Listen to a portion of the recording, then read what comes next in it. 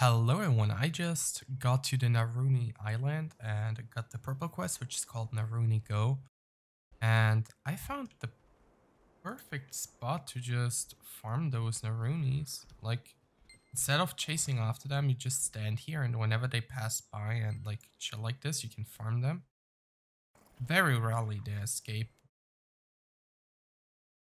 The spot is basically on the right side of the map next to this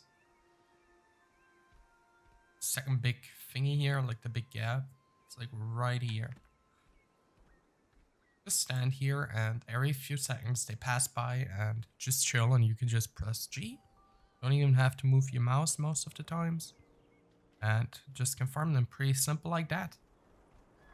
If I could help you, please feel free to leave a like, subscribe for more, and see you in the next video. Have a great time.